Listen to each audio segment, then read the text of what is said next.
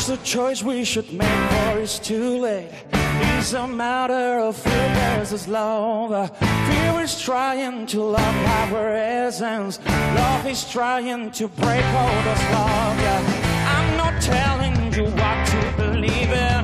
I'm not talking about heavens or gods. All I know is that we have.